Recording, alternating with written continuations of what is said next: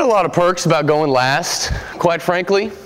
I get to be compared to dessert, which is awesome. You know, the thing about the dessert, though, is we all want it, but we know we don't need it. I don't know what the application is about me there. I don't know. Makes you think about one time we went and we were having a meal at someone's house, and we were having what my wife calls Mexican stack up, which is just her word for nachos. And so she sees my plate and it stacks multi layered. So we were, having, we were having that meal, and I was making my way down the, the counter, and I was getting this and getting that, and really one of everything was on my plate. And I was like, oh man, that cheese dip looks so good. And I mean, I'll confess this to you. So in line, I took a chip and I dipped it into the cheese dip, and I took a bite, and I was like, that's not cheese dip. Mm-mm, what is that? What, what is that? And they're like, oh, that's hummus.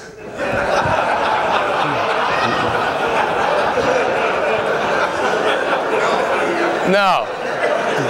No. Mm-mm. No, no, no, no. That belongs in that garbage can that's right under the counter is where you're going to put that hummus, all right? So, uh, in some ways, I feel like the hummus of today. Uh, you know, Glenn and Kirk have done wonderful jobs. And Brandon and, and Case, under the leadership of the elders, have pieced this together this so wonderfully well. Um, man, I feel like I'm the hummus here.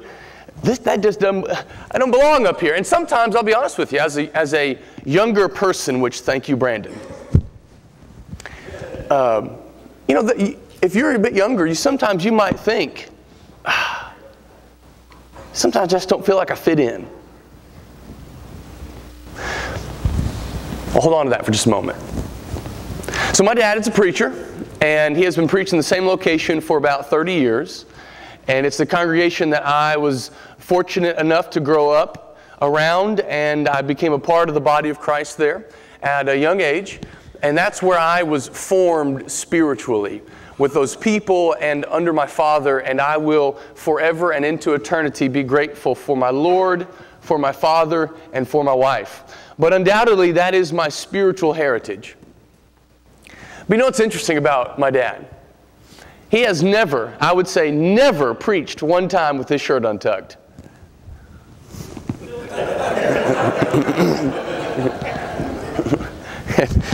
And I don't make a regular habit of doing that. But isn't it interesting that just the way someone's shirt tail lays, you can almost tell something about who they are? And at the very least, we have thoughts that are processing within our minds. Does he not know? My father has never, to my knowledge, preached in a building in jeans. Now, I don't make a regular habit of it, but isn't it interesting? I did these things on purpose today to make this point. We are quick at times to start drawing conclusions about people simply because of the material that covers their legs and the way that a shirt tail lays. I find that to be interesting. And I draw out that point and want to make that illustration the onset of this lesson because when speaking for a generation that has been described so wonderfully, they want to know why, and we I want to know why with everything. Dad, why do you always got to tuck shirt in? Why are khaki pants, why is the material of khaki so much better and, and holier than the material of denim? Because quite frankly, my denim jeans probably cost more than your khaki pants.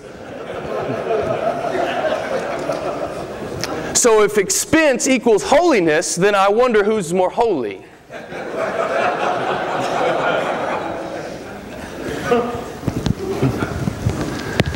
Now, all of this is done in jest and illustration.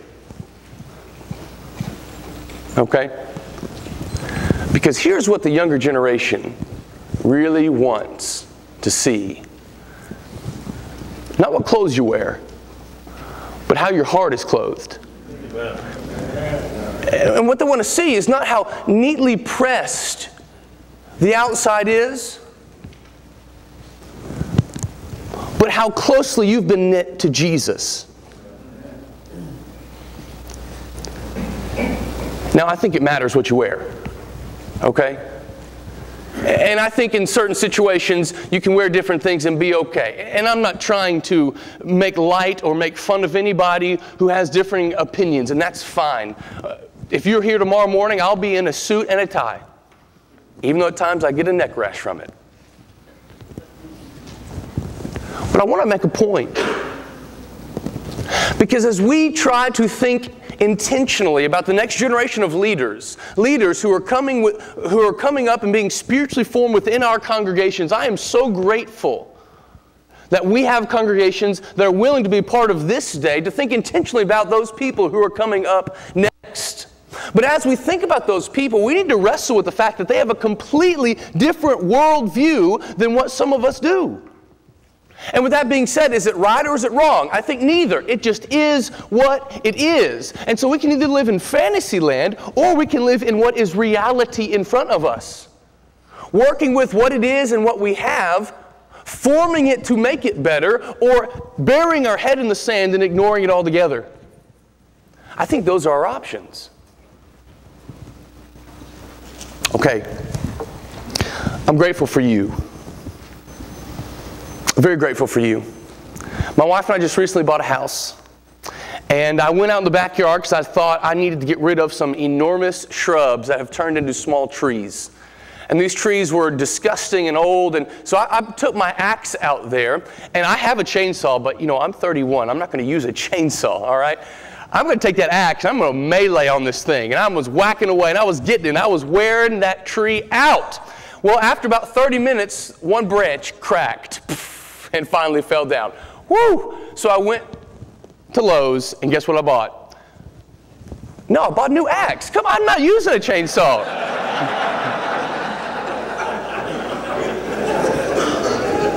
I bought a new axe. Now, oh, now watch it. I took that new axe. Within three minutes, that whole tree was down. Why?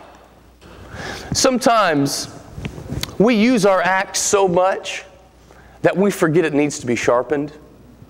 And a sharp axe can work efficiently and effectively far more than a dull one. So I appreciate the fact that you, as a man of God, and as a young man who's wanting one day to become a Christian, I appreciate that you see the need to sharpen your axe. And undoubtedly, I think you have been benefited by being here today. So, what do we do now? We've come to this place and at this time.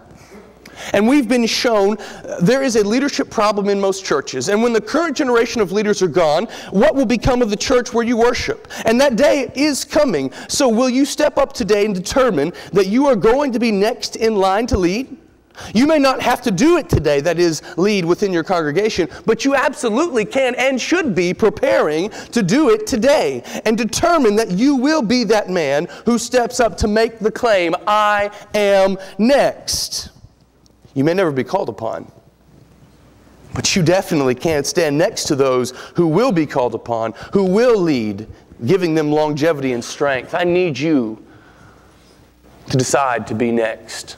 Now, I'm going to talk about somebody from Scripture, and he's going to be our case study to make a point. But here's what I want you to know about I am next. You don't have to be young to be next. You just have to be somebody who hasn't chosen to be a leader. And so, you as a leader, guess what? You're young. Like Kirk said, from 17 to 97, it doesn't, from 7 to 97, if you haven't led before, you need to make the statement today, I am next. Because the Lord's church is in desperate need of men to take the calling of men and to stand up as men and be men. So, will you make the claim and will you live the life to answer the calling, I am next? Here's what's interesting about, let me talk about young people for just a little bit more. Do you know the name Frank Abagnale Jr.?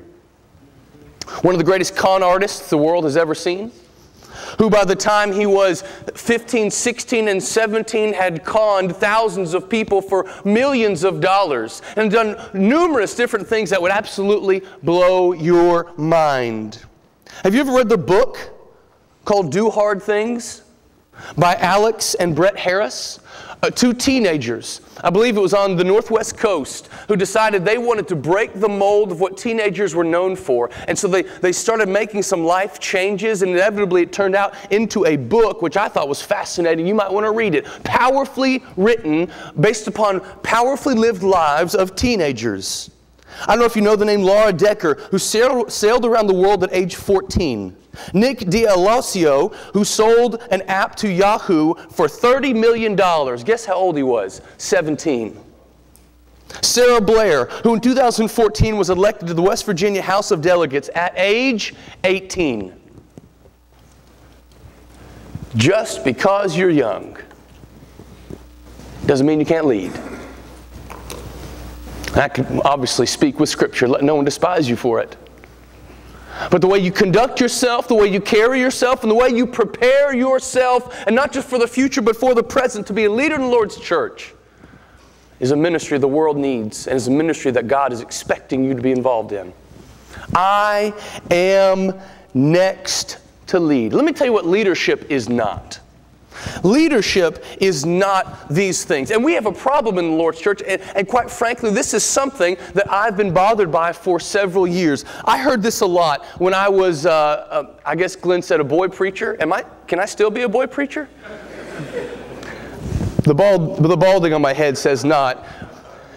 But when I was earlier in my 20s and preaching and working with a congregation, I, kept wanting young uh, guys to help lead, men to come into a leadership position. And I'd go and I'd talk, and if I didn't know that guy very well, I'd go to this individual who's highly connected. I'd say, hey, what do you think about that guy over there? And here are the, some of the statements that I got. You ready for them? Well, he may not teach or talk much, but boy, he's a worker. You know, he's not the gather people around him and lead kind of guy. It's almost like back in those days, I remember thinking, man, if you're just a good old boy who just goes along and gets along, it's almost like in some of our churches, you've reached the pinnacle of spiritual leadership. That all it takes to be a man and a, a, Christian and a man is, well, make sure you're here, stand on the back wall, open the door, and then pull chairs at the fellowship meal. And since when has that been spiritual leadership? I don't think it is. We need less of that and more of these things that we've been discussing today. Leadership is not standing, and no offense to anybody who's on the back wall, sat there all day long. I sat there all day. But if your Christianity is a back wall Christianity, and all you do is simply hold a door so people can come and go as they please. Are you influencing people or are you a prop? So we need men. Men like generations ago who will take a stand with God, with Scripture, counter, counter culturally influencing people for Christ. Not just to be a good old boy. And I've got nothing against good old boys if they also lead spiritually.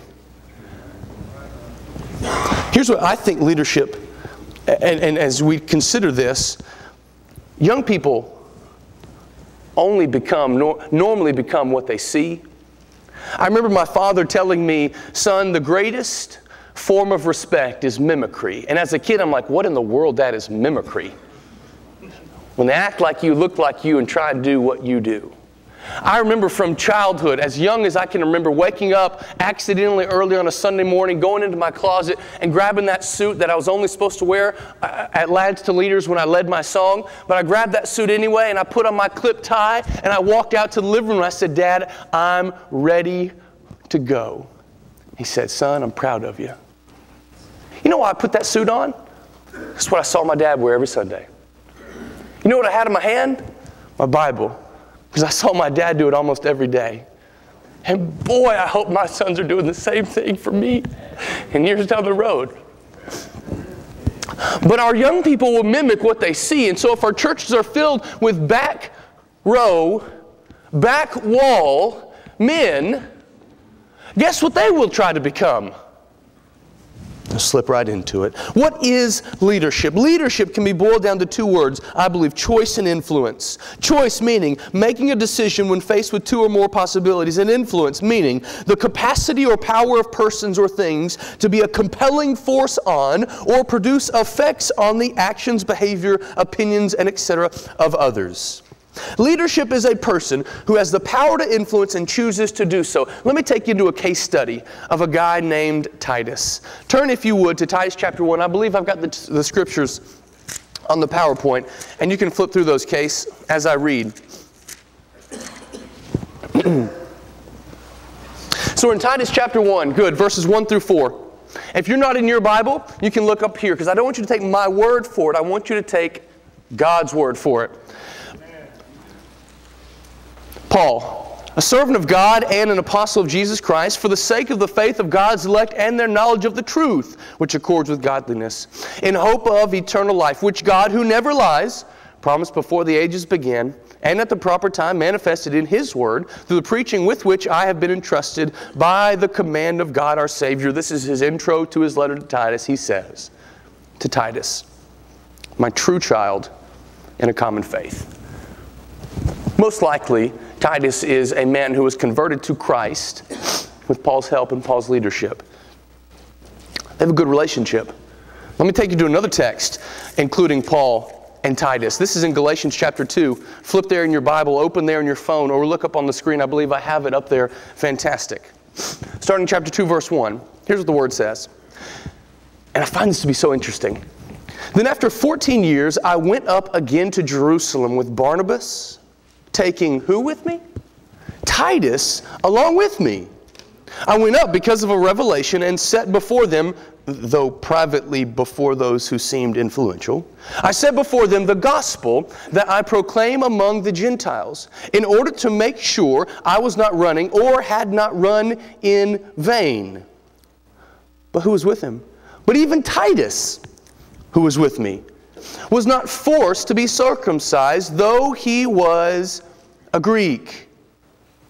And yet, because of false brothers secretly brought in, who slipped in to spy out our freedom that we have in Christ Jesus, so that they might bring us into slavery, to them we did not yield in submission even for a moment, so that the truth of the gospel might be preserved for you. So, what in the world is Paul talking about? Well, if you're a Bible student, you, you might know, and if, you're, if you don't know, let me tell you something because this is absolutely powerful to me. Titus, who was most likely converted to Jesus through Paul's leadership and influence, Titus obviously has been with Paul and with Barnabas in Jerusalem at some time when there was a conflict going on about circumcision or uncircumcision, about if they should accept the new law of Christ or do they also have to be circumcised to abide by the Mosaic law? We don't know. Where is that in Scriptures? In Acts 15. And so, if this is the case, that Titus, who was converted to Christ through Paul's influence, was with Paul when he was in Jerusalem at some argument or some conversation, some debate that took place, it was probably in Acts chapter 15. Now turn there.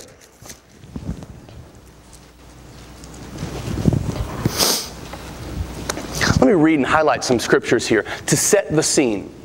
Because if you're not familiar with this idea of, well, now I'm a Christian, but I also have to do this, then you're going to miss everything here in Acts 15. You see, this is fascinating to know the context. This is at a point in the history of God's plan of salvation that the new covenant had been ushered in in this area, and the old covenant still had a great influence and, and a great power on people.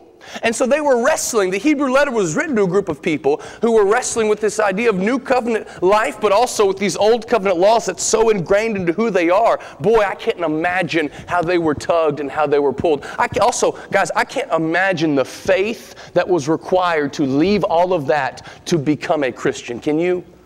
We're so fortunate to grow up, some of us in generations of Christians. That's me. So fortunate. I can imagine the life of some of you who probably were converted from the world and, and the nothing that is out there to Christ and the fullness of the life that's in Jesus. I can imagine your faith, and I want to say thank you. Thank you for being an example to me and others. But that, that context that they were in, Christians, Christians Some who held the idea that now that Christ has come and he had, he's fulfilled the old law and it's now done away with, all you have to do is, is, is follow Jesus and be immersed in the laws that he had talked about, meeting his blood there and that immersion that Bear would call baptism. But then some people are like, yes, that's true, but you also have to do this. So after you become a Christian, you also need to abide by the Mosaic law and become circumcised to be accepted into the fellowship of faith, which is completely inaccurate. But in that first century context, it, uh, it was everywhere. People are like, what do I do? Okay, so now we're in Acts chapter 15. But some men came down from Judea and were teaching the brothers. So we're talking about Christians. Unless you are circumcised according to the custom of Moses, you cannot be saved. And after Paul and Barnabas had no small dissension and debate with them, did you did I highlight that? I did I should have highlighted that. After they had no small dissension and debate with them, which is the scene that I want us to be aware of. It's probably a lot like this one, but way less cordial. Kind of like when everybody says amen and it's super loud and it fills the whole room. I love that. I have to ask for amens where I preach. Uh, uh, know if that's a, a me problem or someone else problem. But after, after Paul and Barnabas had no small dissension, this was a hotly debated topic and a highly contentious situation. And debate with them, Paul and Barnabas and some of the others who were appointed to go up to who were appointed to go up to Jerusalem to the apostles and the elders about this question. So, being sent on their way by the church, they passed through Phoenicia and Samaria, describing in detail the conversion of the Gentiles and brought great joy to all the brothers. But when they, came to, when they came to Jerusalem, they were welcomed by the church and the apostles and the elders, and they declared all that God had done with them, how the Gentiles had received salvation. You know, Acts 10, Acts chapter 11, as the. Anyway.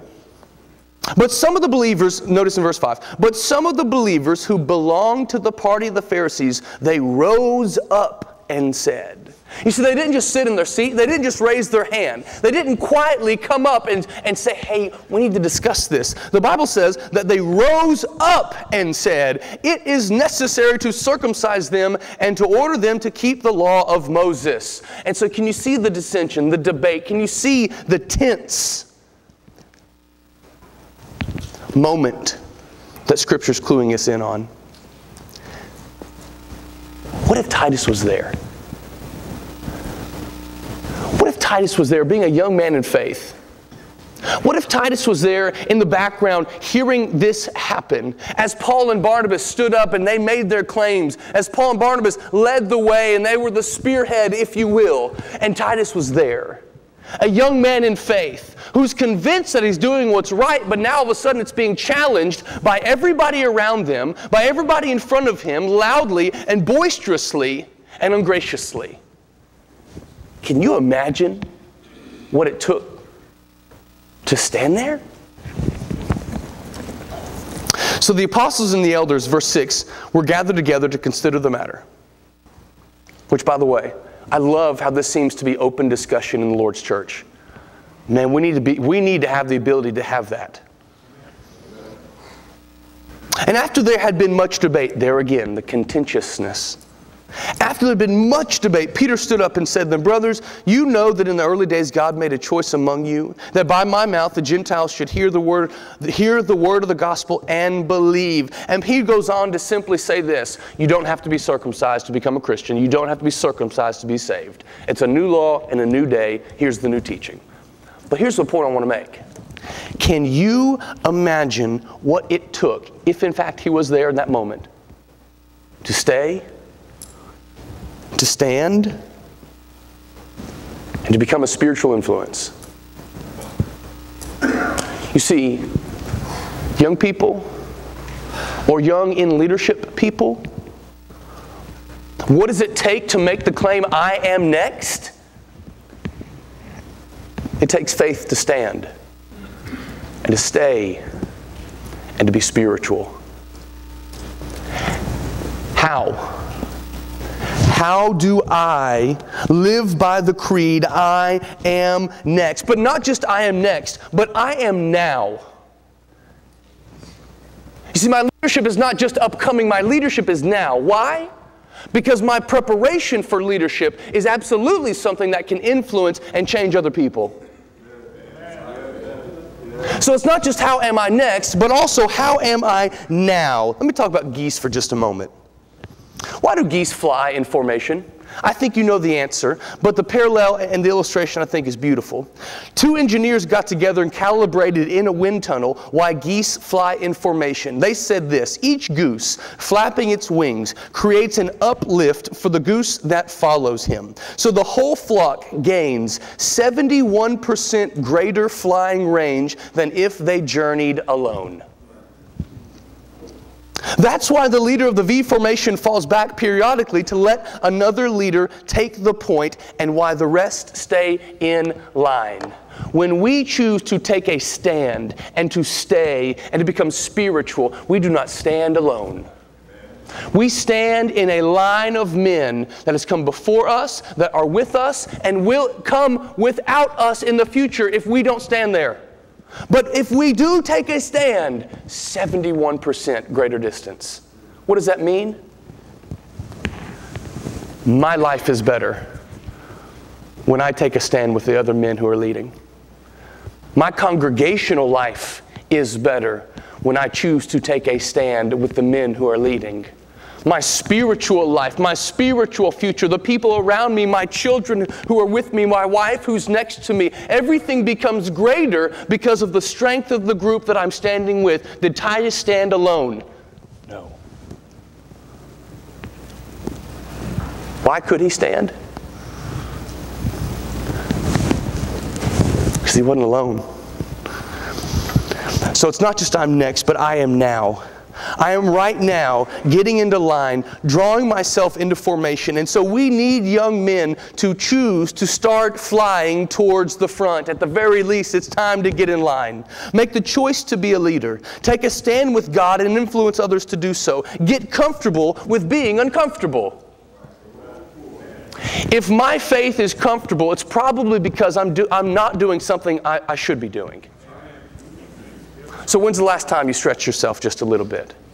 Maybe it's time to get off the back wall. The back wall of the, the church building? Get off the back wall in your marriage? Get off the back wall as a father? And jump in line. Take stand. Your soul depends on it. Your congregation depends on it. Your wife, if you have one, depends on it. Your children depend on it. Titus chose to stand.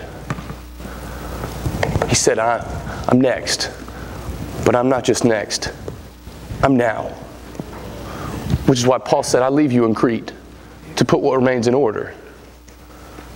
Now, as we leave this place, You'll go to your place. And will you work to put what remains in order?